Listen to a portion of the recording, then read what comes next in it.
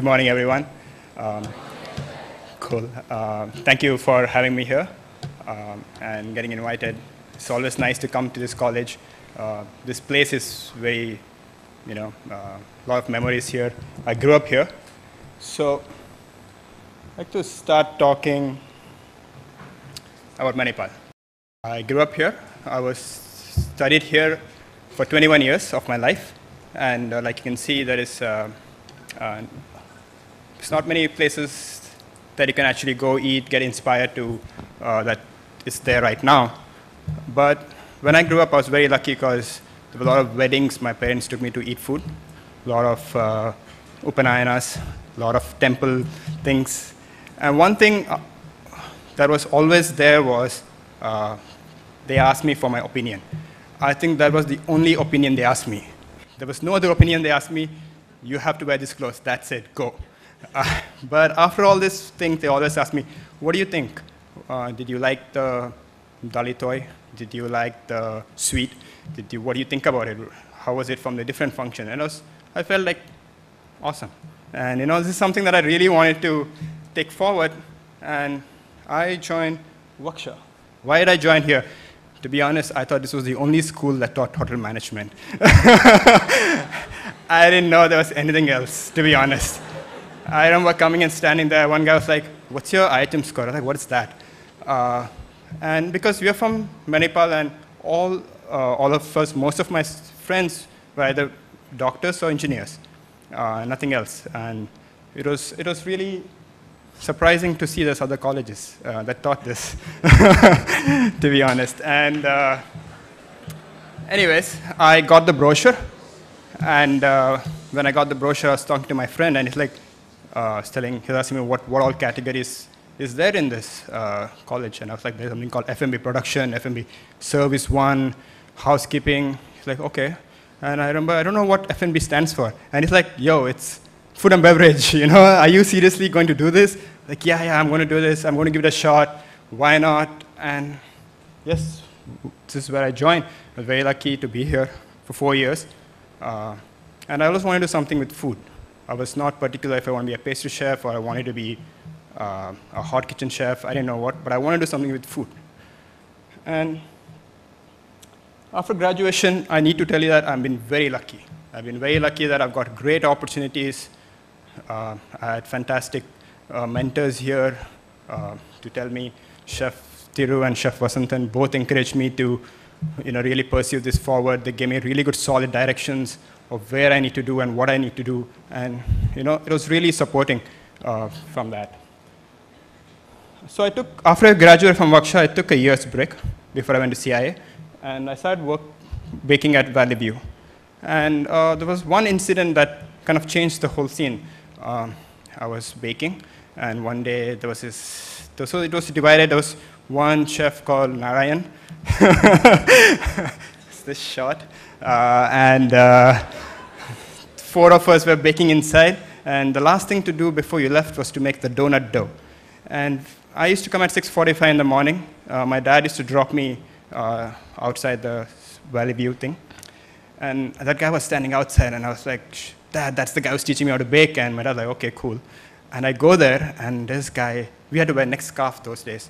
Uh, and then I remember him drag, pulling me there and taking me through the kitchen through, and to the bake shop. And he's like, look what he did to the donut dough. And uh, it's messed up.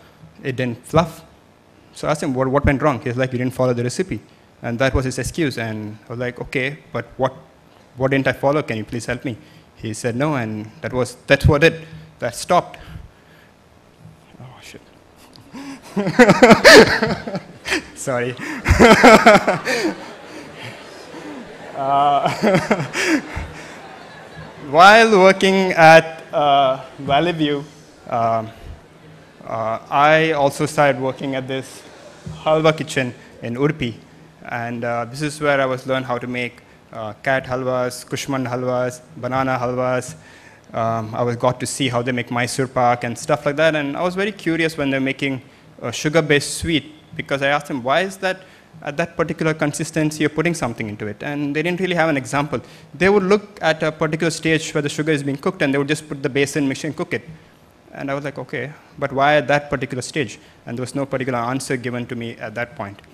So this made me want to get into Culinary Institute because I thought this is where uh, they would answer all these questions for me. And uh, thanks to Chef Thiru and Chef Vasantan who told me that's the place you need to go. So they will answer all your questions and you'll know how it's going to improve. And this is why I went to the Culinary Institute. After graduating, or during my time there, I got a chance to work at Jean Georges. This is where everything changed for me. Um, the kitchen environment was fun. I never expected it to be like that. Uh, it was very intense. There was music being played, uh, Daft Punk, Metallica, any kind of all sorts of music. And I was like, wow, I thought it'd be intense, it'd be very strict, because the only thing I saw previous to that was Gordon Ramsay's kitchen in uh, TV. Uh, so I thought, I didn't know it was so fun. But this is where I started to learn how to plate desserts, learn how to write happy birthday, learn how to uh, plate 40 desserts by myself for a period of three hours, um, how what petit fours are. I figured out there's something called tasting menu, which I never heard before. Um, it was really good an education, and the chef was always there, working really hard along with us. Um, and I learned all my basics really well at this phase. I then joined Gotham Bar and Grill. I thought I need to go to another intense kitchen. Now, Gotham Bar and Grill was something that was crazy because we used to plate 400 desserts on every night. And it was a three-star restaurant, and you had to be really quick. Uh, it was me trying to scoop. It was two of us that plated 400 desserts in a matter of three hours. So we had to scoop around uh, 10, let's say for 10 scoops of ice cream under a minute. So you had to be really fast, and it was chaos. There's so much noise. The chef used to always say, go fast, go fast, or go to India, don't be here. You know, it was just like, I don't know what was going on, and, but I had to prove myself, and I went through it. It made me strong. It made me, uh, you know, get really good experience at this point of time. I also started working in the night during my time at Gotham at a bakery called Amy's Bread Bakery. Here, uh, I, this is my favorite place to work because it was amazing. You could eat as much as bread and butter you wanted. It was a fresh bread. Um, you, we used to push out at least uh, 100 to 200 kilos of bread every night. We had to bake around 1,000 loaves of baguettes, ciabattas, an oven that's bigger than me.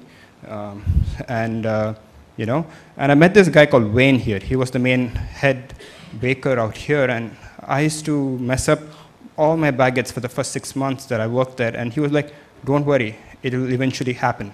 I used to burn all the bread, and most of it, and uh, he'd be like, don't worry, eventually you'll get it.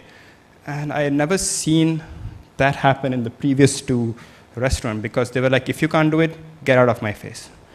And it was a very different style of working here. That's why I kind of enjoyed it. and really struck to me much at that point of time. I didn't really realize this until I came back to India and I joined Olive Beach and Olive Beach. I became the pastry chef after a year after working here. And I thought there'd be a lot of people who want to come and work with me because I have this really good experience, really good resume, and people used to come and work with me, but no one lasted with me. For let's say in two months, I lost nine employees because I was arrogant, I didn't really understand. I was using my experience from my previous experience from Gotham Bar and Grill and Jean Georges and was being very aggressive. I was like, if you can't do it, get out of my kitchen. It doesn't make any sense. Uh, there was actually a bet that was going on. If you last with uh, him for more than a month, I'll take you to a restaurant and feed you. And, and I was like, what is going on? So I called, I spoke to a bunch of people, and they all said that if you can't have them do it, then you do it. You know, why do you want, you know, you try it, you work harder. So I thought, okay, I'll give that a shot, why not? And that's what I started doing. But then I didn't have time for myself at this point, so I started doing most of the prep. I was doing the same thing over and over again. I really got frustrated. I thought this is not the way to go. I then called up Wayne. I wrote him an email and saying this is the problem I'm going through. And after a long chat, he suggested me that this is what he used to do. He used to take, he used to sit in his subway from his home uh, to the bake shop sit quietly for 20 minutes, didn't use his phone, didn't read anything, just sat.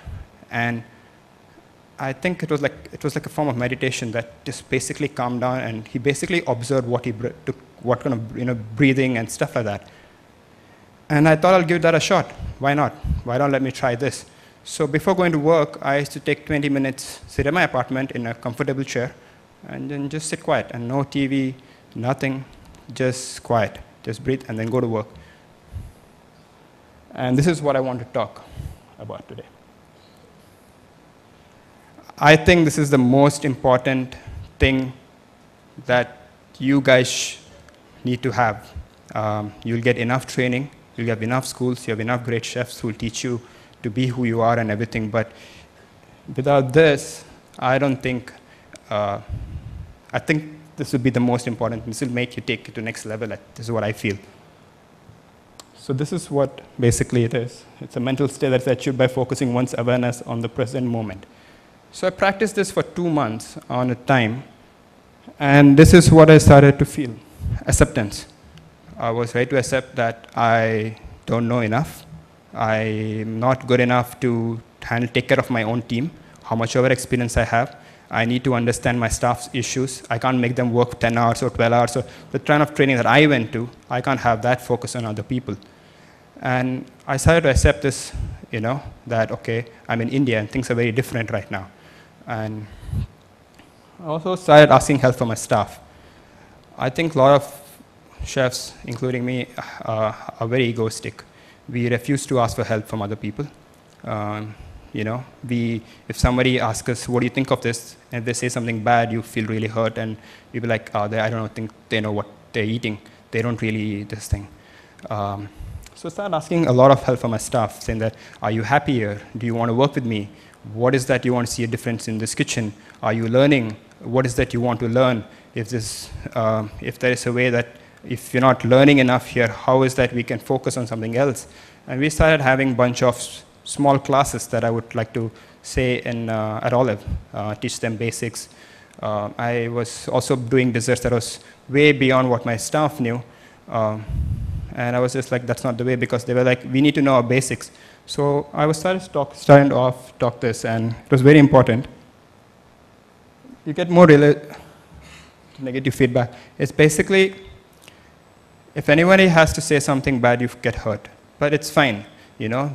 Nobody has to talk great things about you, and a lot of people will talk bad things about it, and you should be aware of it. See where the positiveness is there in the negative part of it, and try to improve on that.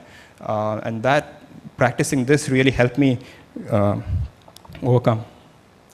Being patient. Uh, you need to be really patient in this business. If you want to reach somewhere this high, you need to start low. You can't start way high. You need to be really patient. If you're not producing best desserts in the kitchen and you have a vision, it will eventually happen. And it will only happen if your staff is good. And if you're treating your own staff and yourself, you will never reach that. Um, so you need to be really patient about training your staff. I started spending more time. Before, I used to throw the caramel. If the caramel was not good, I used to throw it in the dustbin. If the cake was dry, I would yell at them, shout, saying that you're stupid, you guys don't know anything. And I would do it. Um, um, but then being patient was basically saying that it was like, it's cool, let them mess it up. I'm going to stand next to them. I messed up so many breads and loaves, and that guy actually gave an opportunity to take it forward. And all of you guys are going to do that, and you guys are going to get frustrated. You might do something, you need to do it over and over and over again, like butchering a fish, you might mess it up. You should not get frustrated with it. And doing, practicing this will actually, like, it's okay. It's fine, but you need to learn from it and go ahead with it. It also improves your creativity. You start seeing things in a very different way. You start seeing things very simpler. You start seeing uh, things in a way that, why do I need to do all this stuff if I really, this is, what I want my guests to eat, this is what I want to put out. And it'll also see, make your things very clear. And this is something that I noticed. So after practicing for two, three months and after a while of this, I also started to, started to sharpen my senses. So then I started using to experiment this. The first is taste. Um, usually when uh, most chefs usually like to put like 15 different components in a plate uh, trying to showcase all the techniques they know, trying to show that, okay, this is happening, that's happening, but kind of losing the main focus of what is that they want to put it out, what is that kind of flavor that you want, especially in pastry. You start seeing one cake with some smoke coming from somewhere, and then you have this thing coming here, you don't know how to eat it, you know, you'll be afraid if something's going to bite me, or, you know, you get all confused. But same time, people don't want to go to a really nice restaurant and get a slice of cake. You just need to learn how to balance it. And Uh, here I've used an example called caramel, uh, where I've used just a basic caramel. And I made a caramel parfait, we have caramel ice cream, we have a caramel paper. It still feels like it's modern. It's not just there. But again, it's still, uh, still relevant to new. And this is basically how to help me. Before two, three years ago, I would try to put like a caramel foam and this. It's not that those are uh, needed for this. It kind of helped me balance. It's okay. I want my guests to really taste caramel in this dessert, and how can I impact that? And this is, and my ego of showing that I want, I have all these techniques, I don't want to show it. It's fine, you know, you need to accept it. Sight, this is something that I want to always was inspired is this, how can I just show a basic, it's very clean plated desserts. You want people to just look at it and be like, okay, uh, this is it. You don't want some, like I mentioned before, you don't want uh, a crater of moon on your plate. You want to just stand there and uh, that really helped me to focus. So here is just a chocolate custard cake and a chocolate mint and a mint ice cream. To keep it as simple as possible, uh, directly to the flavor, uh, nothing too complicated. Even a regular staff can plate this. Uh, you don't really have to be behind them, tell them, no, put that dot right, put this wrong. Oh, I want the dots to be big, too small. And, you know, uh, this will really help them to make it. You're kind of making a staff easy. You're making it yourself easy as well. This is something that really helped me. Sound. This is, so I've been talking for a while, and so is Thomas and uh, Doctor. So I want to do this. I want your participation in this next uh, event. You guys ready? Yes? yes? Cool. Uh, what I want to do is, when I raise, so I'm going to distribute half and half, so that half and this half. So when I raise this hum, I want you guys to do as softly as possible. Yeah? Is it possible? cool. Let's try this. Okay, cool. Now when I raise this hand, I want this crowd to go crazy. I want them to go shout like hooligans. I want the vice chancellor to come and say, done, this conference is closed. Done. We don't want more more chefs in this thing. Uh, you know, I want that kind of noise, you know, like crazy. Okay, let's give it a shot. Cool.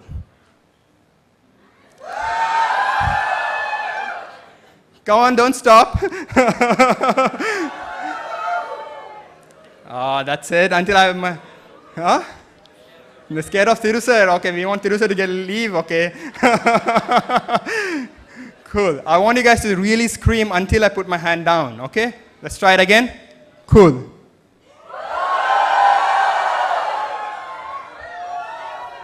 Oh, it's so weak. I didn't expect WGSHA like this. You know? okay, cool. So what we're going to try doing is we're going to have this together. I'm going to raise this arm. Please don't stop doing what you guys have told you to do. And same time, please don't stop. When I raise this hand, don't stop doing that. Yeah? Cool? Cool. We'll start it. Hopefully it works.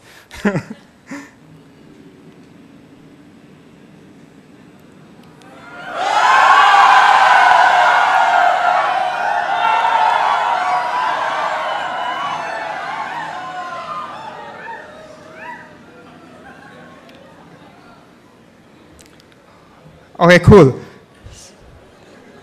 You see how it's so chaos and noise and so loud, but this quietness is still there? That's how most chefs' minds are, to be honest. We are not cooking here. There is so much noise in your head because you have to deal with your staff, you have to deal with your own problems, you have vendors, you have to uh, you have other people, you have something that's very beautiful called social media where people want to talk to you. Uh, and uh,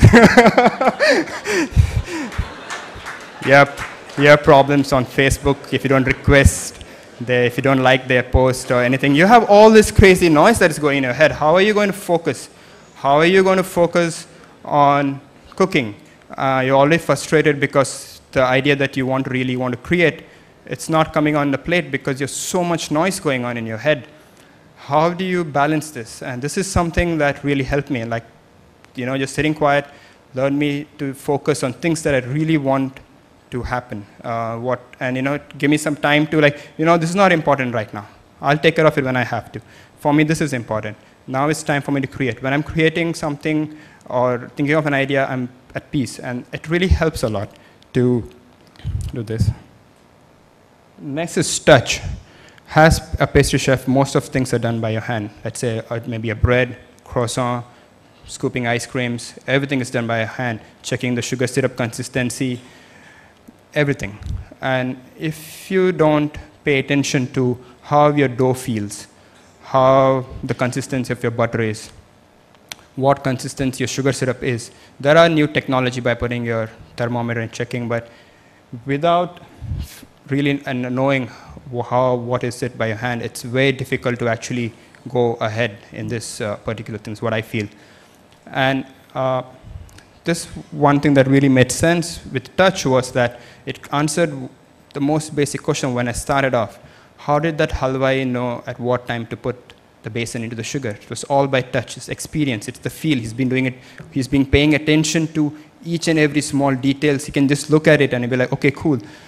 You know, most of the time when we are seeing something boiling, our minds are somewhere else. We are thinking what to do next or what is happening in the current world or something else. It's not focused it is, and it, hap it happens to me a lot. And uh, I think if you start paying attention to how your croissant dough feels, how your donut dough feels, you can actually get really good at it.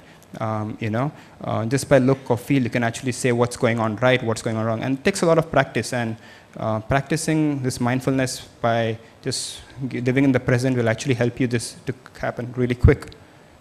And one of the croissant dough, just by feel.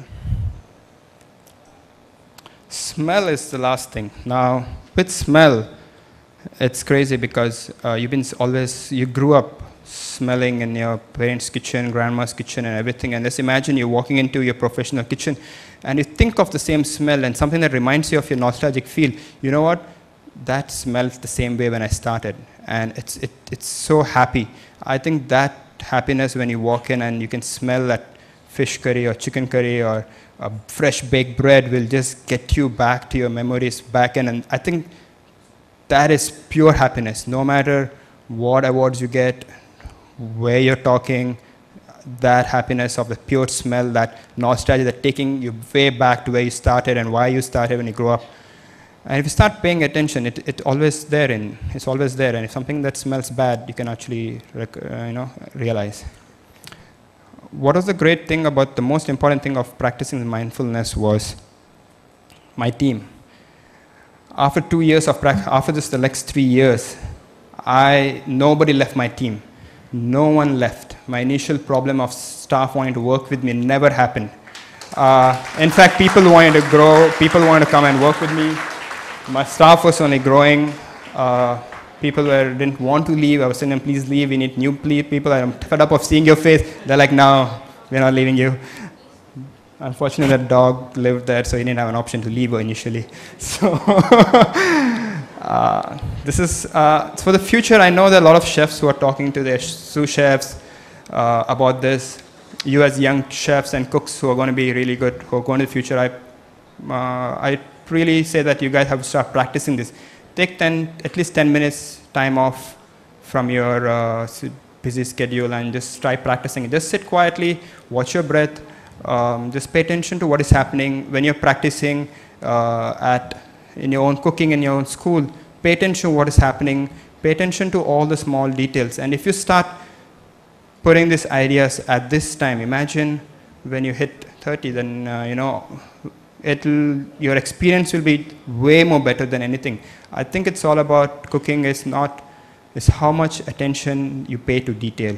And uh, if you can somehow get that in you, it'll make you better, not only a better cook, but a better person, a better individual, a better boss, because you start paying attention to your staff, you start paying attention to yourself, which a lot of, lot of us don't do you start paying attention to what is happening across, you start paying attention to a very random person that you might meet on the road and actually give time and you might learn from that person. If, you know, this is what I watch to do. Yeah. If you guys have any questions, please ask.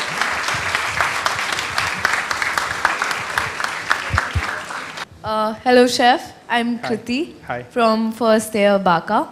My question to you is, how would you like to uh, differentiate your learning experience at WGSHA from that in CIA? Uh, WGSHA actually, to be honest, gave me a lot of confidence to where I am. Um, in, in WGSHA, I didn't learn pastry, I didn't, uh, didn't learn cooking, but I just learned how to, there were so many students, it was the first time I'm actually meeting a lot of people from outside, in, you know, outside Manipal, to be honest, uh, and seeing different cultures and stuff like that. CIA was a very specialized course. Um, it's, it's a, I took pastry as my main thing and I learned only pastry. What WGSHA taught me was how to be ready for CIA, how to talk to people, how to deal with other people from different parts of India, how to uh, hang out, how to go out, you know. That's, it made me a better individual at WGSHA than at CIA, uh, to be honest. I met a lot of students from other colleges. They were not like us. We were different. Good afternoon, Chef. Good I'm afternoon. Sagarika from First Year BACA. So my question is like, as you said, basics are important, mindfulness is important. So what are the other key qualities to become a successful pastry chef? Um, I think that basics is something that is very important. I think a lot of people actually want to do crazy stuff.